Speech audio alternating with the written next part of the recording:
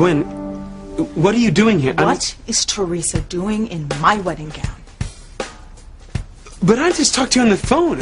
You said you couldn't leave New York Ethan, yet. I was talking to you from my car just down the road. I didn't want to let you know I was on my way because I wanted to surprise you. And apparently I succeeded because the last thing I expected to see when I walked in here was Theresa wearing my wedding gown.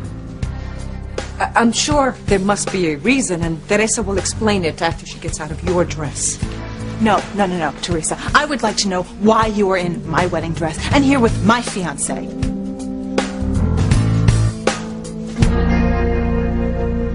Tell me, Theresa, why are you wearing my wedding dress and here in Ethan's bedroom?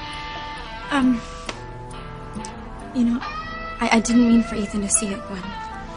Eh bien, bon, Antonin... Oh, Mademoiselle Gwen, quelle surprise! Madame Colette. I didn't know you were here. Uh, it is the same with me, Monsieur Ethan. I, I thought you were not at home. So you're here working on the dress. The headpiece. I made a few alterations, and I needed to know how it would look with the dress. Theresa volunteered to model them for me. But Monsieur Ethan, you were not supposed to see it.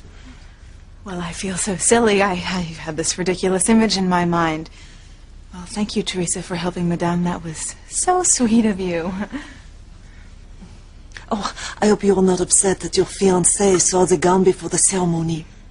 No, no, I'm uh, I'm not worried about that old wives' tale at all. Besides, it was Theresa he saw in the wedding gown, and she's not his bride to be. I am.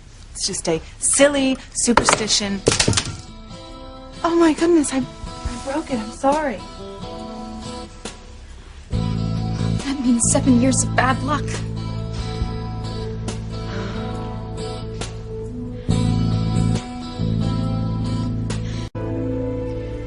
Time to get out of the dress, Theresa. It was good of you to model it for me, Sherry. I now see that the headpiece and the gown are perfect together. Mm, will she not look beautiful coming down the aisle to you? Yes. mm, Beautiful.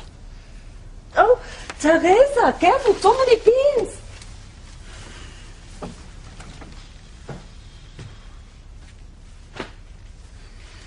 Something's bothering you, Gwen. What is it? Oh no, Ethan, it's uh, it's nothing. It was just seeing you here with Theresa in my wedding gown.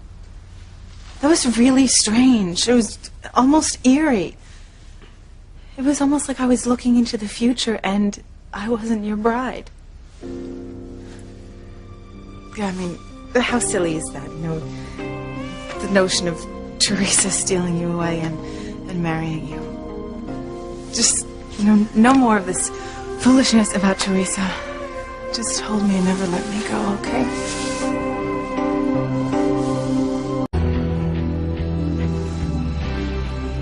I miss you so much. I love it. Thank you, Theresa. What do you mean? She must have talked me up so much that you couldn't bear to be without me.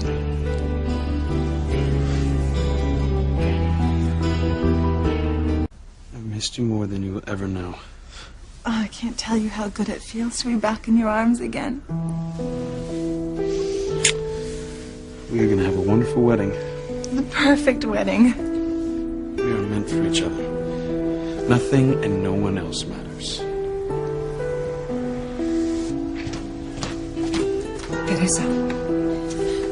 What are you doing? Come here.